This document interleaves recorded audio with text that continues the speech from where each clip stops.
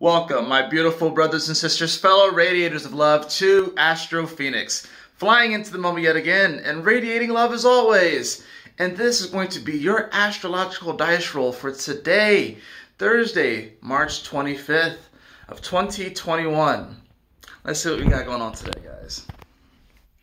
We have Mars in Capricorn in the first house. In the first house, Mars in Capricorn, first house, guys.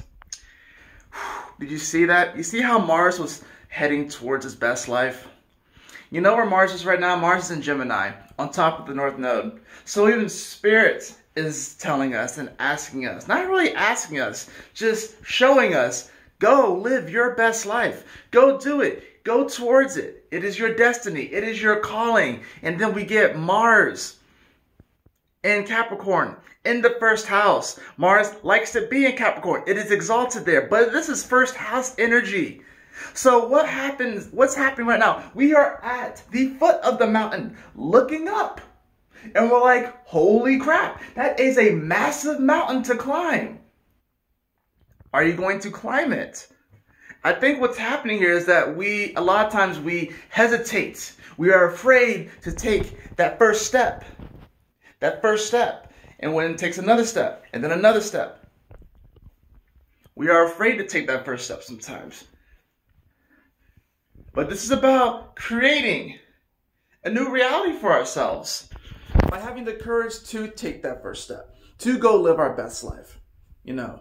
And it's been a little tough here, you know. It's been a little tough. We had all that energy in Capricorn, you know. We had Pluto Saturn and Mars there you know, going, we had that conjunction. We had, you know, Saturn and Pluto, which technically met up in Aquarius, but we had all of that, all of that stress in the Capricorn energy. And now it's just Pluto there, but there's still stress there. Why? Because, well, at least here in America, we're getting ready for our Pluto return, right? So where's Saturn right now? Saturn is in Aquarius. Saturn's in Aquarius now. Saturn likes to be there. Jupiter is in Aquarius right now. So there is this calling right now that we all have to do something different, to do something radical in our life, to take a radical first step. And I think this is a step, actually I know this is a step that we all have been pondering on, thinking about, ruminating over, just ruminating, ruminating, ruminating, ruminating.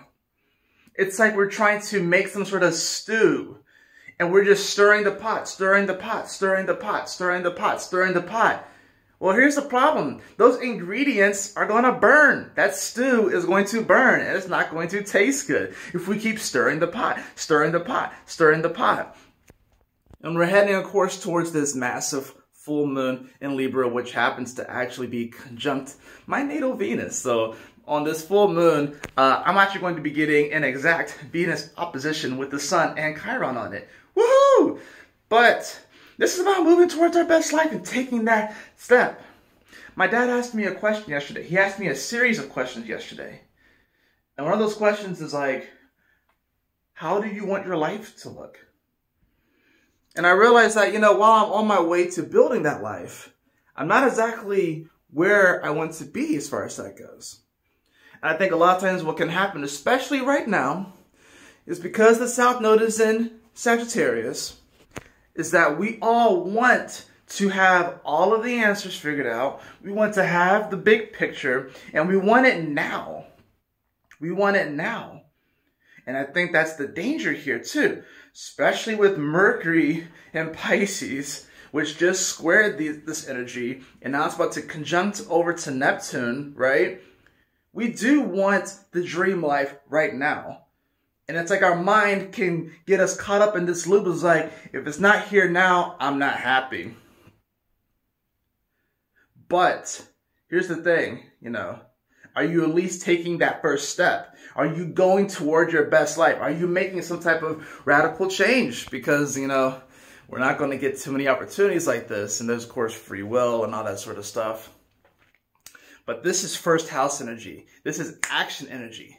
This is initiation energy. The other thing about the South Node in Sagittarius that I want to talk about real fast, Mars is with the North Node, not the South Node. Okay? This is about movement. This is about moving in our local community. This is about what we can reach out and touch. This is not about faraway places. This is not about studying. You've done all the studying.